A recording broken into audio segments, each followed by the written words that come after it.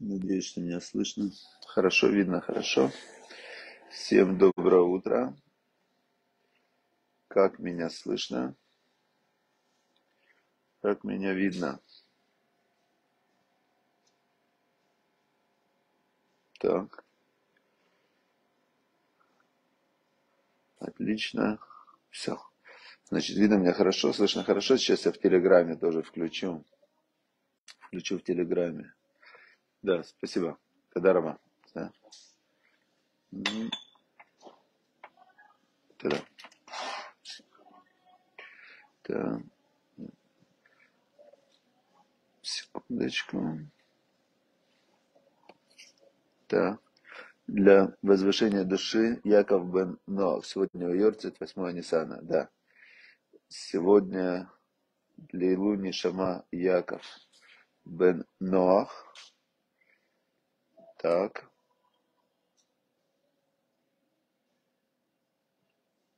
Отлично. Все, дорогие друзья, и Telegram работает, и Facebook работает, все работает. И глава, глава, глава САВ, день пятый, день пятый. Все, запись пошла. Начать запись. Так, все. Все отлично, все получается, все получается. И получается все очень часто в последний момент. Боруха то дуйной или шокольный Часто получается в последний момент.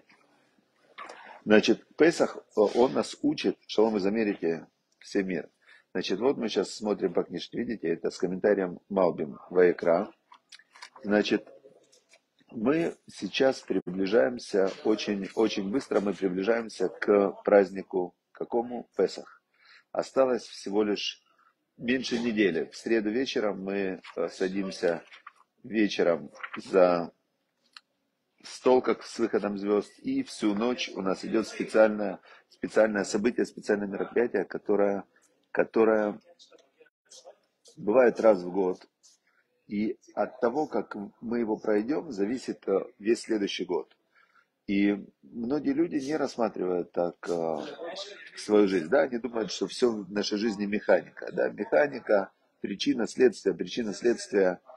В, с одной стороны, это правильно. Да? Есть, есть э, причинно-следственные связи, и каждый следующий момент это, это следствие момента предыдущего. Но везде, везде все детерминировано. Вся природа, все мироздание, оно работает как, как механизм, как машина. Кроме человека. Человек имеет свободу выбора. В этом подобие человека Богу, в этом наше подобие, а, значит, а, человек, написано, создан по образу подобия Бога. Как Бог творец, так и мы с вами творцы. И человек, он может э, изменить вот этот вот причинно-следственный порядок, и он может его повернуть в любую сторону. И Песах это именно вот эта метафора, метафора того, как, как это происходит. Есть в Талмуде спор, когда был сотворен мир. Одни говорят, первого Нисана был сотворен, а другие говорят, нет, первого Тишрея был сотворен. Первого Тишрея это понятно. Тишрей это Роша Шана, да, начало года. Он так и называется, Роша Шана. И известно, что человек был сотворен когда? Именно в Роша Шана это был как раз э, день, когда он был уже сотворен, получается, да? А, так что, а мир был сотворен до Роша Шана 6 дней, и человек именно сотворен был в Роша Шана. А почему же тогда говорится, что в Песах был сотворен мир? Как же так? Как же, на что опираются вторые? Если известно. И плюс еще, смотрите, что интересно. Интересно то, что Песах это первый месяц. Вот да, Нисан это первый месяц года. Вот сейчас седьмое Нисана. Сегодня седьмое, подождите, сегодня у нас какое Нисана? Сейчас я вам скажу, какое сегодня Нисана. Сегодня уже восьмое Нисана, да, я ошибся. Сегодня восьмое Нисана. Значит, восьмое Нисана, это как 8 января, первый месяц, это Нисан. А почему тогда Тишрей, который седьмой месяц, называется Роша Шана? И как здесь разобраться? И вот смотрите, вот если мы в этом разберемся, мы поймем, что с нами в жизни происходит и что мы празднуем в праздник Песах. Значит, а, смотрите, что получается. когда человек, вот я, например, сейчас потянулся за кофе, правильно? Вот я взял кофе и выпил кофе. Момент, когда я взял кофе и выпил кофе, это момент э, в реальности, правильно? То есть это то, что в реальности произошло. Но есть еще другой же момент, а какой-то момент. Когда я задумал, когда я захотел выпить кофе, и в этот момент, когда я захотел выпить кофе и подумал, сейчас мне выпить или после того, как я закончу урок, я в этот момент подумал, что я особо не думал, сильных не было таких вот размышлений, потому что я же сейчас провожу урок. Получается, но, но секундный такой выбор был. И вот это праздник Песах. Песах это принятие решения. Песах это рождение чего-то в, в мыслях, да. То есть любое, все, что в этом мире появляется, оно вначале появляется в мыслях, а потом появляется в реальности. Помните, мы вчера говорили, что вот эти три мацы символизируют, что есть мысль, разговор и действие. Так вот, Песах, он символизирует мысль. Мысль, когда Бог задумал сотворить мир, это же тоже момент сотворения, когда он появилось у него вот это желание, искра, что будет этот мир, это, это первый месяц, это не сам. Но мира еще не было. И потом, потом в Рошашана уже за шесть дней до Рашашна э, Бог сотворил мир, вначале Бог сотворил небо и землю, потом на шестой день появился человек.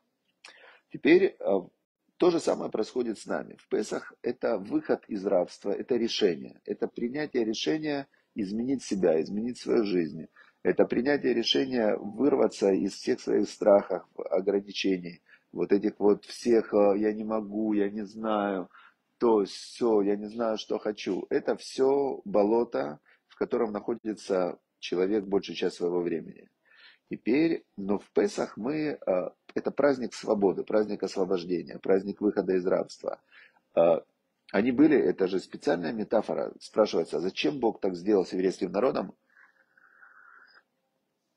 что он их отправил в рабство на 400 лет. Причем задают этот вопрос очень жестко задают многие комментаторы, почему Авраам, который э, молился и с Богом спорил, можно сказать, за город с дом, когда Бог сказал, я с дом уничтожу, что сказал Авраам? Авраам сказал, он сказал, а может там есть 50 э, праведников, а может там есть, э, значит, 45, а может 40, а может 5. Он просил прямо, может не уничтожать. Он за сдом, в котором были злодеи, прям перезлодеи, за сдом он просил. А когда Бог ему сказал, а, значит, 400 а, лет твои потомки будут рабами в чужой земле, будут их угнетать. Мы не видим в Торе, что Авраам сказал хоть слово, а может не 400, а может 200, а может 100, а может не рабами, а может не угнетать. Нет такого. Бог ему сказал, значит, Авраам принял. Что здесь, ну, не сходится, говорят мудрецы. Теперь Давайте разберемся, что здесь не сходится, и мы поймем, что от нас вообще требуется в Песах. А, смотрите, когда, когда Бог хотел уничтожить дом, то есть там жили злодеи, и он сказал, я этих злодеев уничтожу, их зло наполнилось, и Авраам пытался остановить э, уничтожение города, полное уничтожение города, да, то есть это было полное уничтожение людей. Теперь, когда Бог сказал, твои потомки будут рабами в чужой земле и будут угнетать, а потом они выйдут с большим имуществом, здесь не было уничтожения полное, да? здесь было давление, очень мощное, сильное давление. И в какой момент Бог это сказал Аврааму? Он тогда, э, значит, э, Бог пообещал Аврааму, что он ему дает в землю Израиля вечный удел, и ему, его потомкам, он дает землю Израиля вечный удел, да?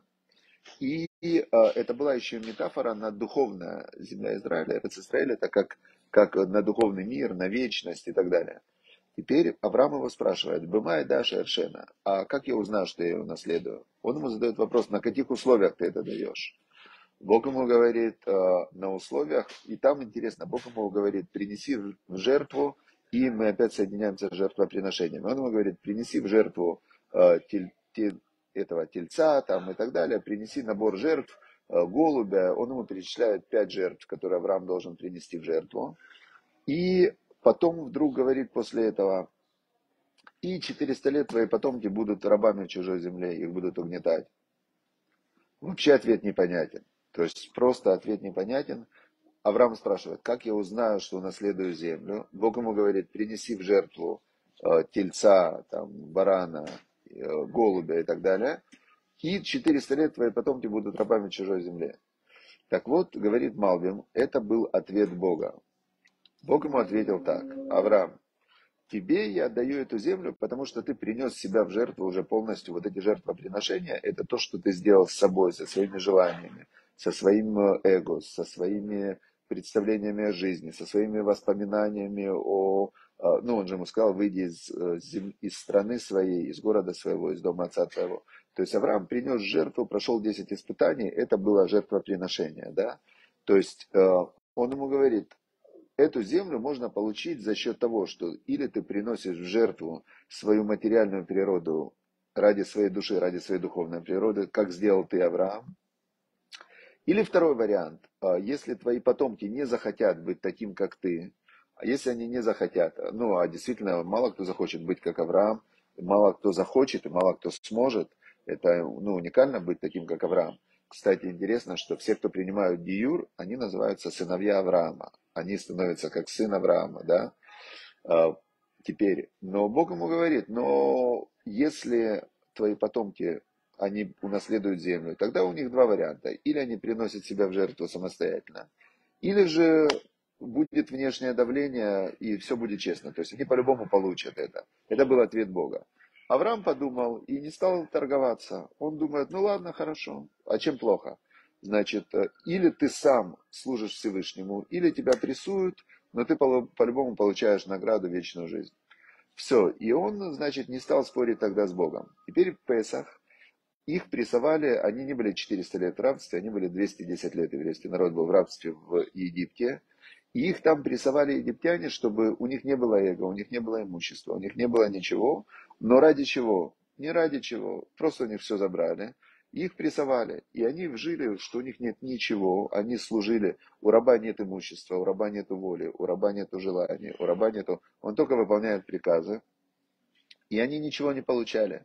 И потом Бог им говорит, все, я вывожу вас сейчас из рабства, вы получаете Тору, вы становитесь э, народ священником, рабами у Бога. Согласны? Они говорят, на Нишма, сделаем, потом разберемся. То есть это как раз э, такой был ответ, который который очень э, Бога, с одной стороны, обрадовал. Но по факту это был просто а, оптимизм и безнадега, потому что по факту, когда они сказали на Нишма, сделаем, а потом разберемся, а потом 10 раз в пустыне после исхода из Египта, говорит нам Перкия, вот, они выступали против Всевышнего, и в конце концов Всевышний сказал, что те, кто были там рабами, а, и сейчас я их вывел, они не зайдут в землю Израиля, и 40 лет вырастал новый народ в пустыне, народ свободный, который не был под э, давлением вот этим предыдущим, да, то есть, э, и потом зашел народ Израиля в Израиль, и празднуем мы Песах, теперь нам понятно, Песах это выход из рабства. Каждый из нас, прямо мы говорим в пасхальной Агаде, мы говорим такие слова, что должен ты видеть себя, как будто ты выходишь из рабства. То есть нужно прожить, перепрожить всю эту историю наложить ее на себя, почувствовать, как ты действительно, ну вот утром ты встаешь, и ты робот. Каждый человек робот своих старых привычек, своих старых ограничений, своих старых каких-то представлений о жизни. И мы все знаем, раз вы ходите на уроки Торы, то вы знаете, что есть другая реальность, духовная реальность, заповеди. Когда ты через каждую заповедь соединяешься со Всевышним, когда ты живешь жизнью духовной, и ты духовно растешь, да, ты духовно растешь, неважно, что вокруг происходит, но ты занимаешься своим духовным ростом так же, как люди гоняются, как царь Соломон сказал в Мишле. Он сказал так, что если ты как Кесов, а, сейчас, имка Кесов,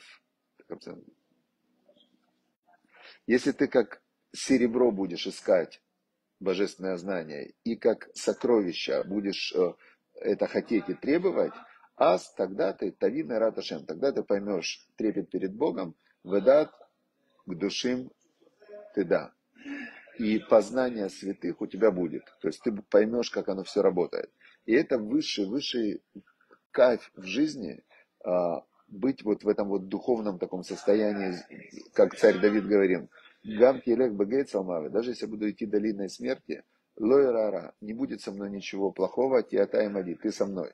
То есть, если ты вкладываешь свои силы, свои стремления, свои усилия в духовный рост, в духовную работу, в заповеди, если ты туда вкладываешь свою силу, то у тебя и здесь у тебя будет совершенно другой уровень жизни, существования. И в духовном мире, естественно, ты будешь царем, а не, а не каким-то там а, третьесортным человеком. Вот, это то, что мы учим в Песах. И вот сейчас мы готовимся в Песах. Я сейчас как раз приехал, вот мне нужно, почему я сегодня провожу урок не из дома, потому что мне нужно сейчас сделать подготовки к Песаху. Я как раз приехал, чтобы готовиться к Песаху. И вот у меня как раз сейчас, я ехал в машине с женой, разговаривал.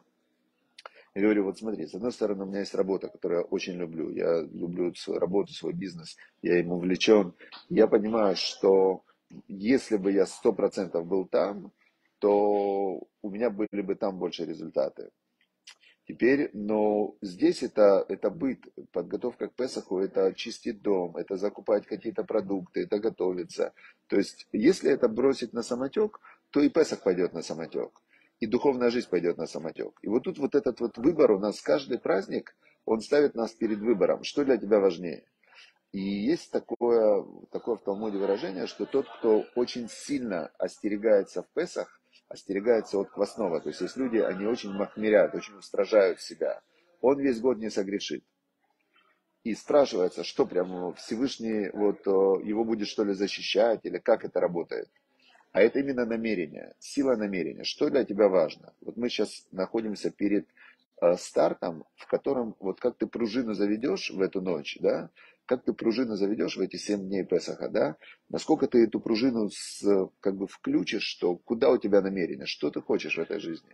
Или ты хочешь в этой жизни, а, ну, просто провести как-то время, знаешь, меньше, меньше поработать, знаешь, как а, есть такое выражение, хочу, чтобы у меня все было, мне за это ничего не было. А как мужик один Джива, э, Джина он э, вытащил из бутылки, Джин говорит, что ты хочешь? говорит, хочу, чтобы у меня все было. Джин говорит, ну у тебя уже все было. Все, у тебя все было. Или, то есть Песах нас учит а, тому, даже не учит, он нас проверяет. Да, все еврейские праздники, вот говорят, Роша Шана, день суда. Что значит день суда? Кто кого судит? Всевышний просто тебя просвечивает изнутри и выдает тебе то, что ты стоишь, то, к чему ты стремишься, то, что ты делал, ты получаешь как бы слепок результат будущего года, то, что на Востоке называют карма. Песах, ты можешь изменить эту карму, ты можешь вырваться из этой кармы, ты можешь начать с нуля, с чистого листа, новый вообще этап в своей жизни. И вот это Песах. И вот эта метафора, когда ты готовишься к Песаху, ты исследуешь себя, ты смотришь на себя, ты наблюдаешь за собой, ты, ты очищаешь свое пространство, полностью очищаешь, выкидываешь все лишнее – выбрасываешь, убираешь всю вот эту вот наносную шелуху, и ты оп, и потом вот эта ночь, и ты вспоминаешь и думаешь, вот люди же, сейчас мы видим своими глазами, э, что нет ничего надежного, потому что вот эта война, она показала, что нет, не, ну, нет ничего надежного в этом мире. То есть э, у меня есть многие знакомые, которые работали годами, вкладывали, покупали земли, колхозы, там, совхозы, и все разрушилось, и у них сейчас ничего нет, они беженцы, они просто беженцы, которым нечего кушать. Ну, есть что кушать, кушать, слава богу, есть сейчас всем, но они реально потеряли все. И, то есть, жить ради материальных накоплений, это, ну, это бессмысленно, это, еще раз почитайте Коэлит, Экклезиаст, и все будет понятно. Все, всем удачи и успехов. Идем готовиться к Песаху, чтобы Бог дал нам освобождение, переход на следующий духовный уровень, правильное направление – движении, и тот, кто выполняет волю Бога, Бога как свою, Бог выполнит его волю как свою. Поэтому, когда вы выполняете заповеди, знайте, что вы закладываете себе удачу, успех, здоровье. То есть, э, чем больше ты вкладываешься в выполнение воли Всевышнего, тем больше потом тебе будет э, хорошо во всех сферах жизни. Все, всем удачи, успехов, до завтра.